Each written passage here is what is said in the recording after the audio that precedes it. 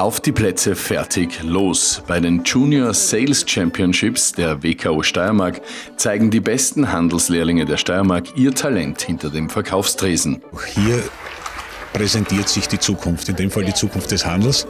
Äh, und das macht sehr, sehr stolz einerseits, stolz auf die Ausbildungsbetriebe und alle, die natürlich die jungen Menschen unterstützt haben, aber vor allem auf die jungen Menschen, dass sie sich diesem Wettbewerb stellen und dass sie damit für ihre eigene Zukunft gerüstet sind. Die haben ein Verkaufspotenzial, das wir vor 10, 20 Jahren nicht gehabt haben. Und jetzt stellen sie die jungen Leute mit einer Selbstverständlichkeit hin, verkaufen ihre Produkte und das ist einfach nur frei zum Zuschauen. Also bei uns ist das Motto, unsere Lehrlinge sind unsere Fach- und Führungskräfte der Zukunft und wir nehmen das sehr, sehr ernst.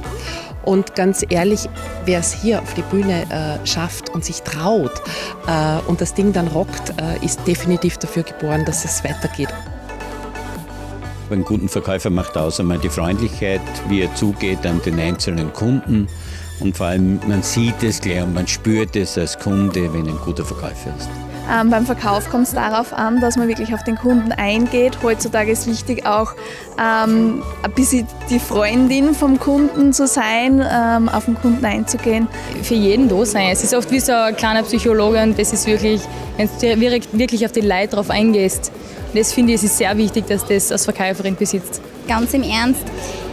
Man soll sich das einmal trauen, zehn Minuten lang auf die Bühne zu stellen 400 Leute schauen zu und dann einfach drauf losreden. Das finde ich halt wirklich großartig. Es sollte jeder mal probieren, gell? Es ist, finde ich, ganz wichtig für die Selbstentwicklung auch und es ist eine Überwindung, aber es ist wirklich, ich bin jetzt auch erfahrungsreicher und das auf das kann ich echt stolz sein. Es war eine sehr gute Chance, mit der Nervosität umzugehen. Jetzt ist es einfach sicher bei der LAB dann ein bisschen leichter für mich. Mir hat es sehr gut gefallen und das war auch der Grund, warum ich überhaupt mitgemacht habe, aber die Vorentscheidung, dass äh, Generalprobe für die LAB ist. Ja.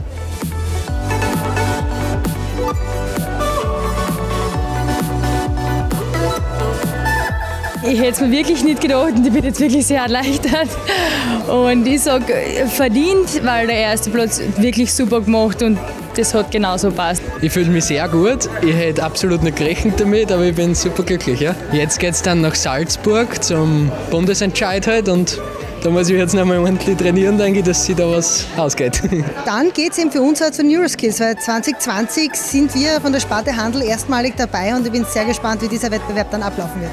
Es sind natürlich immer wieder die aller, allerbesten vorne. Gell? Das hat auch das Ranking so ergeben.